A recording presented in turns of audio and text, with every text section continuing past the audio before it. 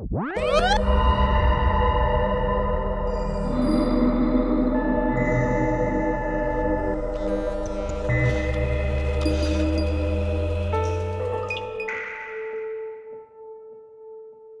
don't know if an official term for this kind of show exists yet. You know, the kind of show that leans on the charm of a cute girl that does cute things. So for the moment, I'm going to call this a dumpling show. As a food, a dumpling has potential to have all sorts of kind of fillings in it. Like you can have vegetables to even a variety of meat. And then you have all of that filling wrapped up in a fluffy dough. The filling is the show's uniqueness, but the dough is the cute character that makes it work. Barakamon, however, is not a dumpling show in a traditional sense. What Barakamon is attempting to do is be a show about a serious adult, one who deals with serious adult problems. But that story gets wrapped up in the dumpling dough in a way that's trying to be profound. In that respect, I think it works. To a point. That said, there are other facets to the show that I think needed a little bit more work, and let me see if I can explain why. Ladies, gentlemen, and others, my name is Arkada, and welcome to Glass Reflection. Today, the 2014 anime directed by Masaki Tachibana, produced by Kinema Citrus, and originally written by mangaka Satsuki Yoshino. I give you Barakamon. Let's jam.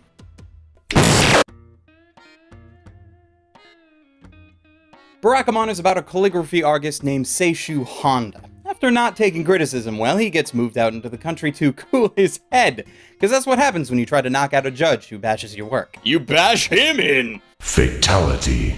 And this right here is the show's filling. You have an artist who was once quite confident in what he was doing, but now he's in a place out of his element trying to find that mystical being known as inspiration. As someone who has a bachelor's degree in fine arts, let me tell you that in most cases, this is a fool's errand. All art is subjective. What one judge might have hated, others might have praised. So if judgment is what you care about, changing for one guy could alienate everyone else. But do you know what judge you should always try to keep happy? Yourself. Which is, I think, where the show was going. Yes. So Handa tried to beat down that one guy. But I think that was because he believed in the man's words. He believed them and agreed with them, much to his dismay. So now, Handa's out on some godforsaken island in the middle of nowhere, trying to find inspiration while surrounded by some snot-nosed children.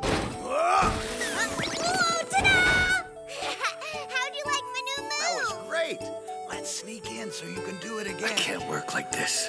Focus. I've got to focus. Which brings us to the soft, gooey dough of the series. On the island, Honda meets local middle school tomboy Naru, who is the show's bright bundle of joy. She does bring it a step farther though from other dough characters, because her just being on screen does not make her cute. It's her energy, her curious nature, and her light-hearted attitude that makes her a pleasure to watch. She's able to break down that cynical wall that Handa puts up, the one that he uses to show the world that he is a serious artist, when actually he's just as childish as the middle schoolers. One of the downsides, though, is how Naru was almost exclusively utilized for Handa's benefit. Now, I know that's supposed to be her purpose and all, but it also would have been nice to just have her develop a little bit on her own. The root problem is that we don't get any character development from basically anyone until the final episodes. Even for Handa. Like, Handa gets introduced to us as a guy that we can relate to. He's the one that overthinks things. He likes his solitude, and a part of him believes that he has life all figured out, even when the universe is trying to tell him otherwise. He is a character that is stuck in a shell of his own thoughts and beliefs. The show happens during a period in his life that is relatable because most of the audience will end up going through their own version of it.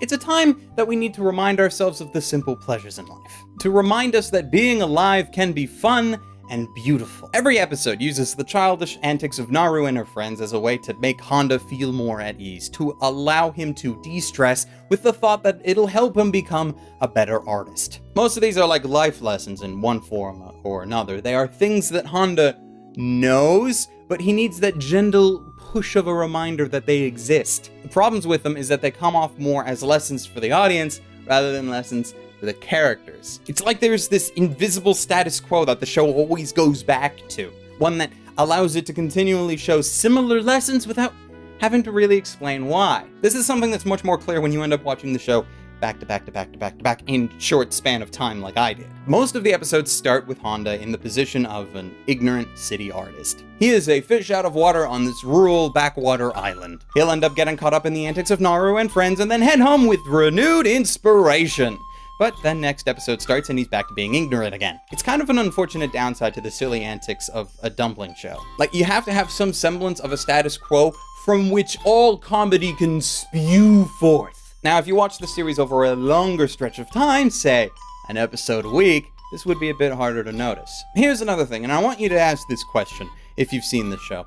What do you really know about Handa? Ignoring for a second that he has an entire spin off dedicated to his high school life, because we aren't talking about that right now. What does this 12 episode series show us about his life outside the island?